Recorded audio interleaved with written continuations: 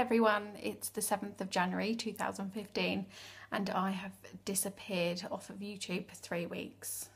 Um, within these three weeks, there's been a lot of eating and a lot of drinking and a lot of mm, maybe not so good choices food wise, but it's also been three weeks of work and sort of new times of working for me um, as I had started my new job and was sort of just finding my feet with it. But I'm on shift now and I have now returned back to Slimming World tonight.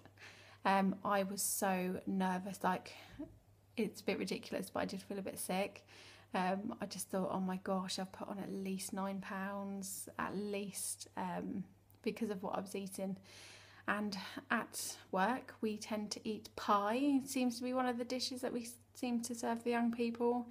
Pie and mash and chips and chicken Kiev and all those beautiful brown foods that every child needs when they're growing up.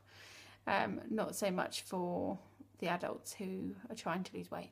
Um, but yeah, first week back, and I'm so pleased that I only gained four and a half pounds I've never been so relieved. I had my hands over my face and I told the lady behind the scales, do not tell me, just write it in my book and I'll look at it when I feel like I want to, which wasn't too long after I'd just been weighed because I just couldn't not know. It was unbearable.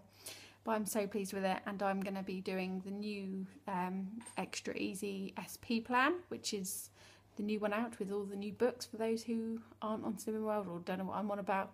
If you go to group, you should know what I'm on about. Um, but I'll catch up with you all next Wednesday to let you know how I got on. Hopefully that four and a half pounds will be gone um, and I'll just pick up where I left off, which is so good. I'm so pleased.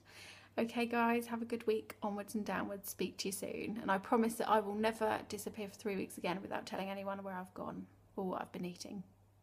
Okay, bye.